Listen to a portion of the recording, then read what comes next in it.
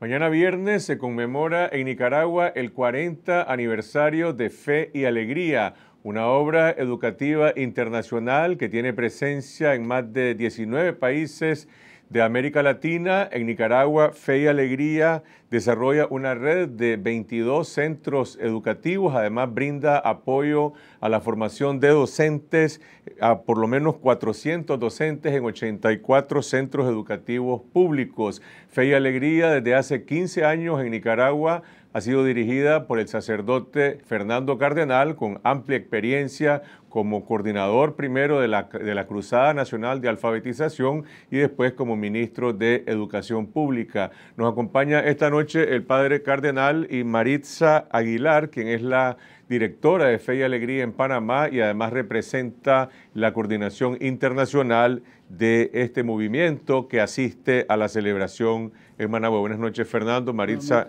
gracias por acompañarnos. El impacto de Fe y Alegría, ¿cómo se mide, Fernando? Siempre se ha dicho que estos colegios nacieron donde terminaba el asfalto. Esa es la norma, estar donde termina el asfalto, ahí adentro, donde la ciudad pierde su nombre. lo más importante de nosotros es la calidad de educación que estamos brindando, ese, ese plus que añadimos. ¿no? Nosotros, como el Logan de, de los 40 aniversarios, decimos que es 40 años cambiando vidas, ¿verdad? Nuestra concepción de la educación no es como aquí muchas, muchas veces se dice, eh, eh, el profesor es el que transmite el pan del conocimiento. No es solo conocimiento en el cerebro, es la explosión de todas las cualidades de la persona hasta el máximo, ¿verdad? Cambiando vidas. Eso es lo importante. Esos 22 centros atendidos directamente por Fe y Alegría, ¿cómo se sostienen? ¿Tienen alguna subvención estatal? Eh, ¿Son centros privados? ¿Son públicos? Bueno, semipúblicos? Eh, según la ley de educación de Nicaragua, nosotros somos centros privados subvencionados. El Ministerio de Educación nos financia el salario de los maestros en el aula solamente. Y no podemos tener nuevos maestros. Por eso no hemos podido pasar de las 22 escuelas, ¿verdad? que atendemos directamente. Pero hemos ido capacitando a maestros del Colegio del Ministerio de Educación y dando educación, formación a los alumnos.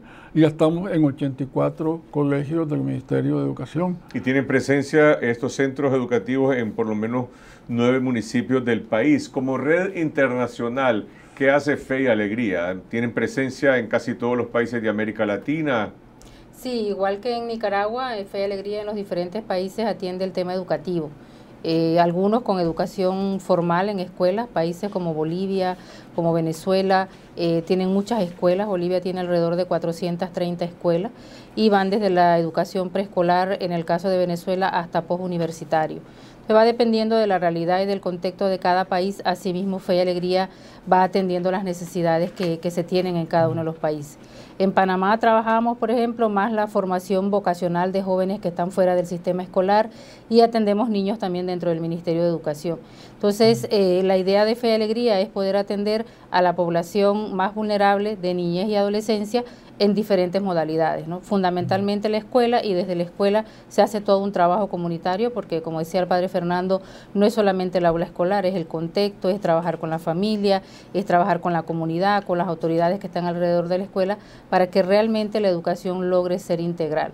Porque, porque creemos que uno de los problemas de la, de la educación es que precisamente solo se ha dejado la educación a la escuela. Mañana ustedes se celebran diversas actividades o inician varias actividades, pero hay un foro de lo que llaman buenas prácticas educativas. Estamos celebrando desde hace tres días, ¿verdad? Hemos estado dos días con 40 miembros de Fe Alegría de Centroamérica, por eso está aquí Marisa. Han venido 40 y hemos tenido dos días de trabajo con ellos coordinando el trabajo de, de Fe Alegría de Centroamérica. Hoy comenzamos con un carnaval desde la Plaza de la Biblia, dando la vuelta por la rotonda Rubén Darío, hasta la UCA y luego estamos en un festival de teatro todo el día de hoy. Mañana vamos a tener un foro de buenas prácticas.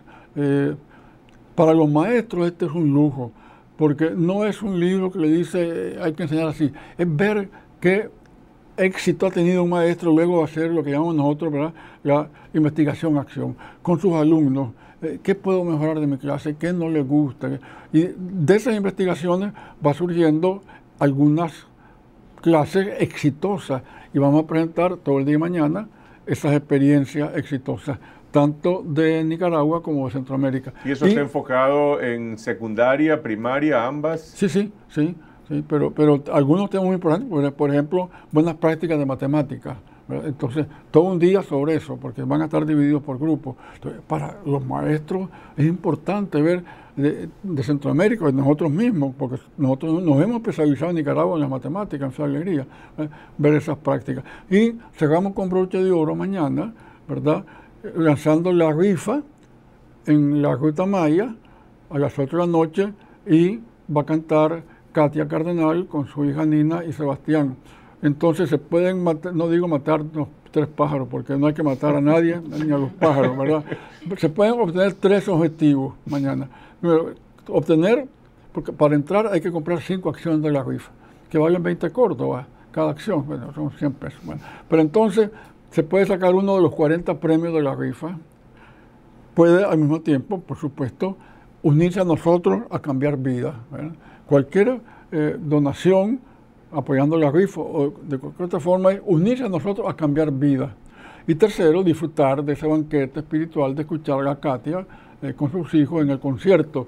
Esas tres cosas se pueden lograr de un solo, asistiendo mañana en la Ruta Maya, mañana viernes en la Ruta Maya a las 8 de la noche. Yo te preguntaba al inicio sobre el sello de identidad, la marca de fe y alegría, vos decís educación de calidad. ¿Cómo se refleja eso? Los graduandos de estos colegios, ¿hay, alguna, ¿hay algún monitoreo de parte de ustedes sobre el desempeño que tienen, la posibilidad de acceso a educación superior o educación técnica o el desempeño que tienen? No, tenemos el control. Una vez que salgan, no, los, colegios no, han tenido capacidad de controlar eh, eh, dónde están, qué rendimiento tienen, pero algunos algunos controles van surgiendo. Por ejemplo, tenemos nosotros en Ciudad Sandino, en Roberto Clemente, que fue el primer colegio que se fundó, eh, talleres de, mecánica, de ingeniería, de computación, y eso está financiado por la provincia de Galicia. Vinieron de la provincia de Galicia a hacer una evaluación del trabajo en de, educación técnica. Luego fueron a ver dónde están haciendo pasantías los estudiantes de nuestros talleres, ¿verdad? Y nos dijeron los evaluadores, dijeron, es fantástico, hemos visto como en todas partes nos han dicho que están muy contentos de los valores que tienen estos estudiantes de educación técnica de usted. Ese es uno de los puntos que nosotros añadimos. Esta es una red educativa promovida por la Compañía de Jesús. Sí, fundada y, por un jesuita y, eh, llevada en adelante por todos lados en algunos, en algunos países, por ejemplo, hay laicos que están dirigiendo, pero es una obra de la Compañía de Jesús. Y decías que hay en, en, la naturaleza del proyecto en Nicaragua, digamos, una subvención estatal, pero eso no será suficiente para que eso se mantenga. ¿Cuál es el concepto de fe y alegría, de cómo, digamos, se, se relaciona con la comunidad para recaudar fondos, para hacer que otros sectores, no sé si la empresa privada, quienes participan? Sí, bueno, el Estado es fundamental en todos los países. Eh, también hay diferentes modalidades de apoyo de los estados, pero también la cooperación internacional es un aliado fundamental de fe y alegría. Eh, que en estos momentos pues está atravesando una crisis porque fundamentalmente fondos de la cooperación española eh, pero siempre se busca, ¿no? La Oficina Internacional de Fe y Alegría precisamente está en esa búsqueda de fondos para los diferentes programas, porque se buscan para toda la red también, no solamente para un país, sino para toda la red. Se está trabajando con aliados de empresas, eh, se está gestionando mucho en Brasil, con las grandes empresas que hay en Brasil, que también están en toda América Latina. Es otra fuente que estamos explorando a nivel de la Federación Internacional, eh, siempre con miras a buscar la sostenibilidad de las escuelas, porque el tema educativo es bastante costoso y algunos países son débiles en la relación con el Estado, en el apoyo. Aquí en Nicaragua, algunos grupos económicos que tienen fundaciones han desarrollado iniciativas para apoyar la educación. El Grupo 1, por ejemplo, asociado al doctor Fernández Holman, perdón, apoya específicamente la formación de maestros en matemáticas. Eh, la Fundación Zamora Terán apoya lo que tiene que ver con la extensión del acceso a, las tecnologías, a, a, las laptops para estudiantes de primaria. ¿Estos grupos que tienen proyectos educativos tienen alguna relación con ustedes o algún eh, otro? Algunos sí, tenemos pendiente una cita con el doctor Fernández Holman. Eh, a mí una vez me llamó eh, el señor Zamora a, la FICE y me dijo, yo sé lo que ha hecho en educación en este país desde hace 40 años, quiero hacer una alianza con usted. Quiero que juntos vayamos repartiendo, ¿qué le parece repartir 100 mil computadoras? ¿Verdad? Eh, bueno, yo le dije, me parece fantástico. Pero el problema está en que en esa sociedad ellos están poniendo la parte que eso es el, fuerte del dinero. Pero para hacer alegría, poder ser socio consiguiendo dinero en España para comprar computadoras y repartirlas juntos, eso es imposible, pues, sobre todo con la crisis económica de España. Entonces, e, esa alianza no se pudo hacer porque nosotros no, no, podemos aliarnos con un banco, competir con ellos, consiguiendo dinero para computadoras. Pero él me dijo, quiero hacer una alianza con ustedes. Hemos hecho una alianza con AmSham, ¿verdad? firmamos eh, una alianza con ellos y estuve con la junta directiva y cuando presenté las pequeñas entradas matemáticas, e, ese éxito nuestro eh, en, cuanto a desarrollar la lógica matemática de los niños, ¿verdad? Los 15 miembros de la junta directiva dijeron, queremos una cajita de las pequeñas entradas para hacer cada día con nuestros hijos, una, son 200 tarjetas, eh, una tarjeta diaria para desarrollar en ellos la, la lógica matemática. Y el señor Diego Vargas, que era entonces el presidente, eh, hace unos pocos meses, ¿no? le compró a nuestra encargada de, de procura, procura fondos, ya que llevó de muestra, y mismo se la pagó, cuesta 25 dólares. Nosotros no queremos hacer negocio. ya estamos digitalizando las tarjetas para que cualquier, cualquier maestro de matemáticas del país la pueda sacar de su computadora en cualquier parte del país. Pero digamos, en este momento ustedes están haciendo campañas de recaudación de fondos vía rifa, vía conciertos, como uno que hicieron recientemente con Hernaldo Zúñiga, ese tipo de actividades. o sea, una relación de que con, los gremios del sector privado que digan vamos a apoyar a Fe y Alegría para extender la obra a más centros educativos. En ese momento esto no existe. Eh, tenemos buenas relaciones, pero en Nicaragua hay poca cultura de donación, poca cultura. Es decir, no hay empresario que no me reciba a mí. Somos muy amigos bueno, ya, ya, firmamos un convenio con Anchan, luego con, Matías Dietich en Unirse, ¿verdad? Que son como 300 empresas, ¿verdad? Que están precisamente reunidos por eh, el compromiso con la sociedad, el, compromiso social, ¿verdad? Pero luego, el, concretar no es fácil.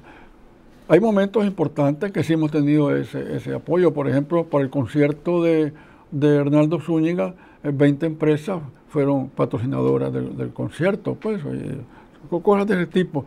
Pero no siempre es fácil que un empresario saque de, su presupuesto algo directamente para hacer. Ahora, esta coincidencia de que mañana se conmemoran 40 años de Fe y Alegría, que fue fundada en el año 74 y al día siguiente, 23 de agosto, es el aniversario de la Cruzada de Alfabetización, en la cual vos estuviste vinculado junto con miles de jóvenes y maestros. Pareciera que alguien allá arriba hizo, armó una coincidencia mágica. Sí, parece mágico, pero sí, mañana son los 40 años eh, de Fe y Alegría y al día siguiente, sábado, son los 34 años del triunfo de la Cruzada de Alfabetización. Es interesante que en todos lados me encuentro yo con personas que me dicen, yo estuve con usted. Anoche mismo fuimos con los centroamericanos al, puerto Salvador Allende a, que cenaran allá y uno me dice, yo estuve con usted, quedé marcado para siempre. Eso me pasa en una gasolinera, en una farmacia, como fueron 100 mil, 60 mil jóvenes voluntarios en las montañas, pero 40 mil jóvenes y adultos en los pueblos de las ciudades son 100.000 personas que me los encuentro por todos lados y me dicen, yo estuve en Guadalajara, yo, yo estuve en tal lado. Y lo que siempre me dicen es, me dicen, yo quedé marcado para siempre. Volvería mil veces a hacer lo mismo. Gracias al padre Fernando Cardenal. Mañana en la UCA el foro de buenas prácticas educativas. Por la noche en la Ruta Maya el concierto de Katia Cardenal. Y el 27 de septiembre también en la Ruta Maya hay un festival, eh, mm. perdón, hay un recital de la puesta de Yoconda Belli. Nada menos, que de lujo. Como parte de este esfuerzo de celebración del 40 aniversario de Fe y Alegría. Yo todos los días te veo en tu programa. Ahora me da gusto estar dentro del programa. Muchas gracias. Gracias.